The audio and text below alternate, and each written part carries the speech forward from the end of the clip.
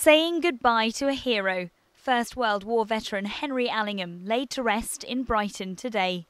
Born in Clapham in South London in 1896 when Queen Victoria was on the throne, the first of six British monarchs in his lifetime, Henry Allingham joined the Royal Naval Air Service at the age of 19 before transferring to the RAF as one of its founder members in April of 1918.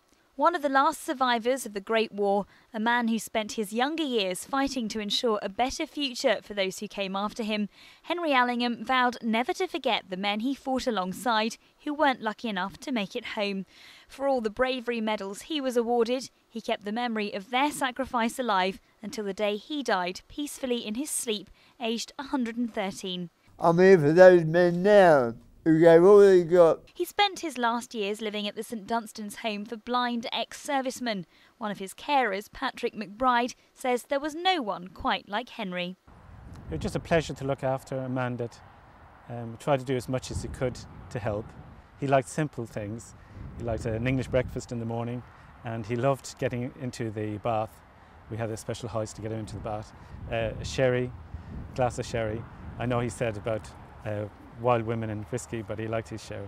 Henry Allingham may have joked that his long life was thanks to wild women and whiskey, but he was very much a family man with five grandchildren and 12 great grandchildren. On his last birthday in June, they celebrated with him on board the HMS President in London.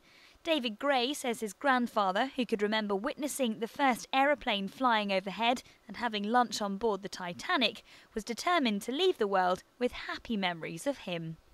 He said whenever I, I talk to older people, they want to talk about death and their health issues and so on. And, but he said when I'm around young people, uh, they talk about life and, and what's coming next. So if he had a choice, um, he'd stay away from the seniors and hang out with the young people. Bless you, thank you. My very, very wishes go for you all. God bless.